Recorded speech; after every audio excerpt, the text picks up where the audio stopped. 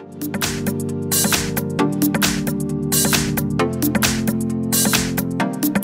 Welcome today in front of me Xiaomi 12 Pro and I'll show you how to log out from Gmail account on this device.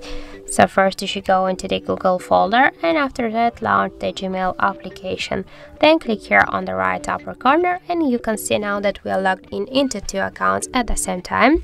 So now just to log out from one from these accounts, you should log out from the uh, Google account on our device. So just to do that, we should click manage accounts on this device and he then here click to the Google section.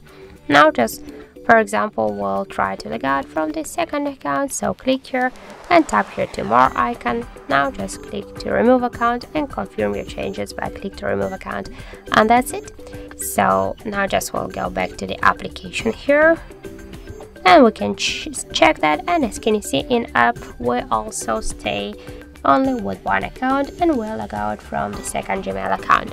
So that's it, thank you for watching and if you find this video helpful, don't forget to leave a like, comment and to subscribe our channel.